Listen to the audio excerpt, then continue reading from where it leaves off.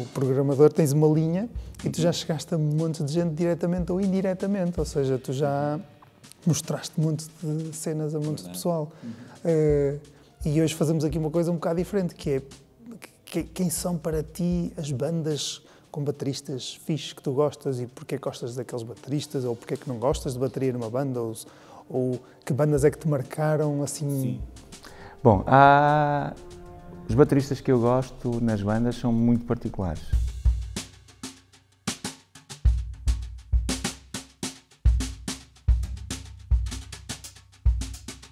Porque há um baterista que para mim foi, foi bastante importante, que foi o Bruce Mitchell, dos, do Dorothy Colin, que tinha uma maneira muito, muito particular de tocar, porque ele vinha do jazz e uh, ele quase não tocava a bateria, era tudo muito sincopado, mas muito lento e muito. com pouca. como é que se diz? Assim, com pouca força. Com pouco volume. Mas era uma figura, era uma figura incrível, porque hum, trazia assim respeito para, para, para a bateria. Eu nunca gostei daquele, daquele baterista que se exibe, entendes? Embora, claro, quando eu penso nos Queen of Stone Age, eh, o baterista é fundamental ali. Ou quando penso em bandas na área do jazz, por exemplo, eh, as coisas já são um pouco diferentes, não é? Já são mais autorais eu lembro, por exemplo, do, de um disco que eu ouvia muito por causa do baterista, que era o Azul do Bica. Ok, sim, muito bom. Muito bom. É um Jim Black. Sim. Jim Black. E ele era muito bom e manteve-se muito bom. E por acaso há pouco tempo fui um espetáculo dele, um concerto onde ele estava, e ele mantém-se como um grande baterista. Embora não seja, pronto, referenciado, não, se me pedis nomes, eu não é, eu sou mais do, estou mais ligado aos vocalistas, se calhar, e a, aos frontmen do que propriamente aos bateristas.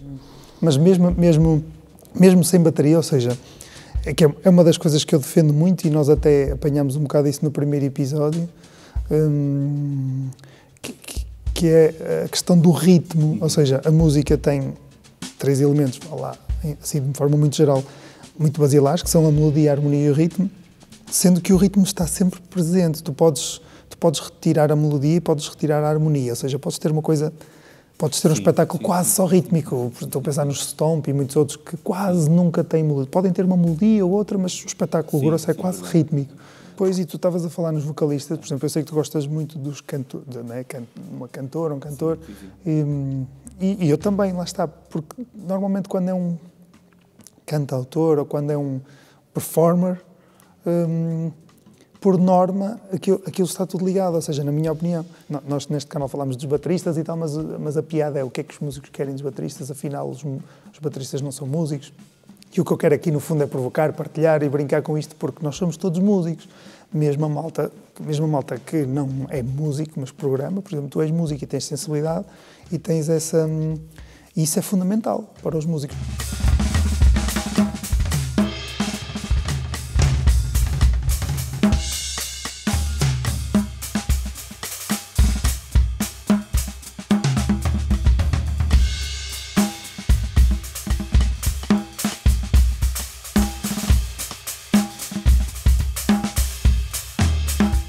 Vezes os músicos vivem um pouco numa redoma, como se ah, nós somos os músicos, nós é que percebemos disto. E eu sou completamente contra esse tipo de cânones ou de, de, de sim, sindicato, sim, sim, porque nós, a música é uma coisa que pertence a toda a gente. O que é que tu achas em relação a isso? Ou seja, o que papel é que tu achas que o ritmo uh, tem nas coisas que tu gostas, nas coisas que tu validas?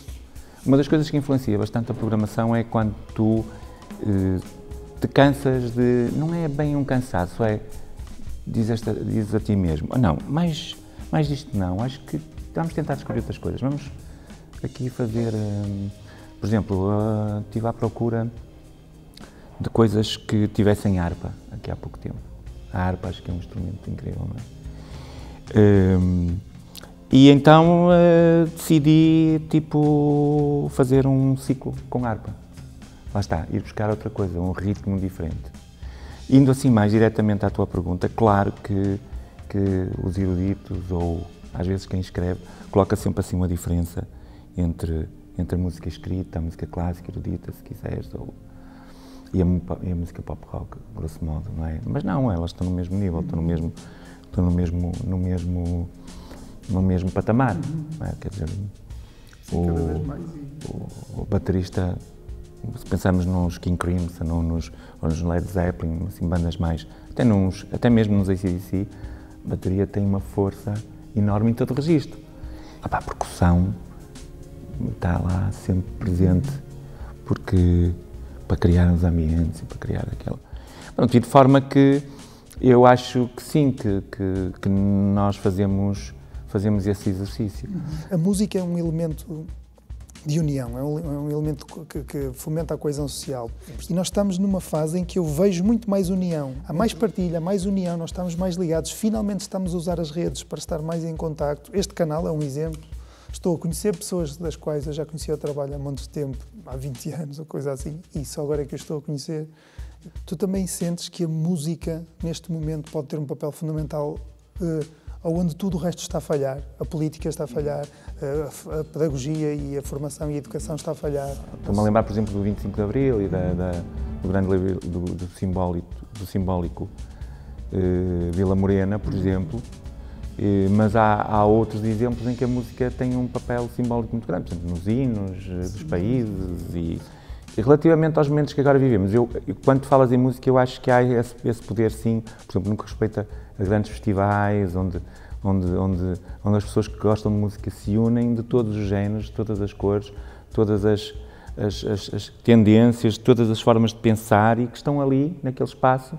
E claro, eu acho que a música vive realmente um momento muito grande porque nós, neste momento, temos um acesso incrível à difusão, à produção, à composição, porque, como tu dizes, todos temos essa, essa ligação à música. Quando, quando nós estamos, por exemplo, quando estamos sozinhos, num, num, num silêncio possível, pronto, estou a falar eventualmente nas nossas casas, deitados na cama, por exemplo, quando vamos dormir, se não estivermos com ninguém, a casa estiver em silêncio, nós de repente reparamos que temos um coração que marca, que nos marca o tempo, não é? Que está ali tum tum tum tum tum tum, tum, tum naquela naquela coisa.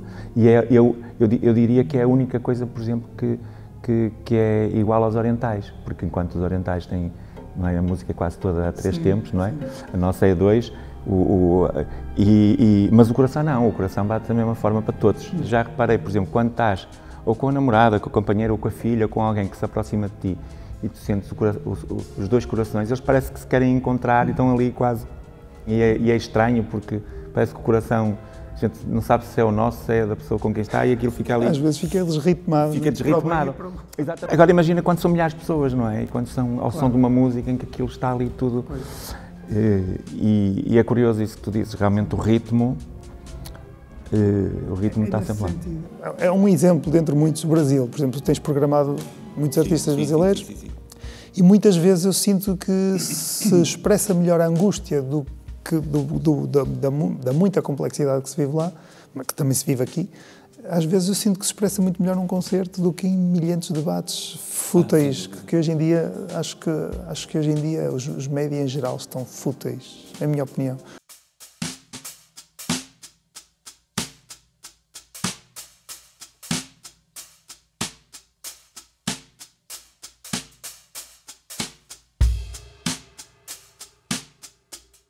Pensar, não vou citar nomes, mas estou a pensar em dois, dois jornais importantes. Quase não têm jornalistas ligados à música, ou a cobrir música, ou há, uma, há aqui um, mas depois também tens muita gente a escrever sobre música no, sim, seu, sim, no seu espaço de Facebook, no seu Instagram, iniciativa.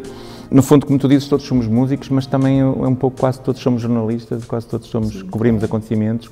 Claro que depois há pessoas que são referenciais, não é? E há nomes na área da música que são referenciais, mas de facto, isso que tu estás a dizer, os mídia, a capacidade dos mídia tem um poder enorme, não é? Porque quando há realmente alguma coisa que, que faz a sociedade pensar sobre o que aconteceu naquele momento, naquele ritmo, hum, de repente toda a gente apanha, toda a gente pensa sobre aquilo, aquilo que, que, que aconteceu. De repente toda a gente percebe que, estamos errados em alguma coisa aqui nesta questão do racismo e, do, e, do, e, da relação com o outro e da forma que temos. O que é que vai acontecer, não é? Se cada um de nós claro, tiver o seu claro, ritmo e não claro. entro no teu e tu não entras no meu de todo e não tenho a mínima tolerância para o teu ritmo, nunca vamos tocar nada, Sim, é nada é verdade, em conjunto e a sociedade desagrega-se. Nós precisamos, precisamos uns dos outros. E, e, no mínimo, é isso que eu costumo dizer, no mínimo, se não toleras, no mínimo, tens de ter uma forma de respeito. Não, e, essa, e essa coisa que o ritmo também muitas vezes impõe, que é precisa, que, que é preciso para, para teres uma sociedade que faz a catarse, não é? Que faz, que faz a cura da, da, da, da doença através da música, seja no dia a dia, seja. Porque a música impõe-te um estado de alma, não é? E a música ajuda-te a fazer lutos, ajuda-te a pensar, ajuda-te a relaxar, ajuda-te a, a ter mais movimento. Estava a ler aqui há uns tempos uma, uma, um artigo sobre, sobre o Alzheimer, em que dizia que, que os doentes de Alzheimer esquecem quase tudo, mas não esquecem as, as letras das músicas e as músicas. E há realmente ali uma parte importante do cérebro ligada à música que tem a ver com questões de sobrevivência, não é? quando éramos primatas, que provavelmente é através dos sons, através do ritmo, através desse. De, de, que, que se começou a comunicar.